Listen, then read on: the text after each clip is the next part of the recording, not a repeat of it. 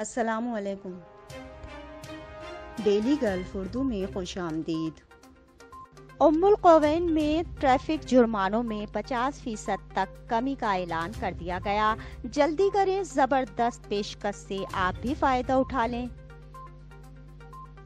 तफसीत के मुताबिक उम्मुलकवैन पुलिस ने यकुम अगस्त से पहले ट्रैफ़िक कवानीन के खिलाफ वर्जी पर होने वाले जुर्मानों पर 50 फ़ीसद रियायत देने का ऐलान किया है, जिसका इतलाक 5 से 9 सितंबर तक होगा।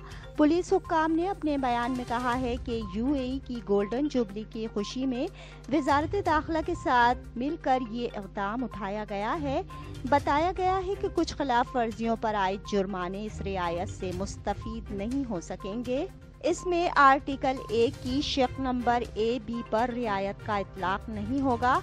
इस शक का इतलाक दौरान ड्राइविंग किसी की जान, हिफाजत और सिक्योरिटी को खतरे में डालने पर होता है। इसके अलावा आर्टिकल तिहत्तर यानी गाड़ी के इंजन और जेसिस में लाइसेंस के बगैर तब्दीली करना और आर्टिकल तीन यानी अटॉर्नी जनरल के फैसला नंबर अड़तीस बरए साल 2020 के तहत आयद करदा एहतियाती तदाबीर के खिलाफ वर्जी करना शामिल है।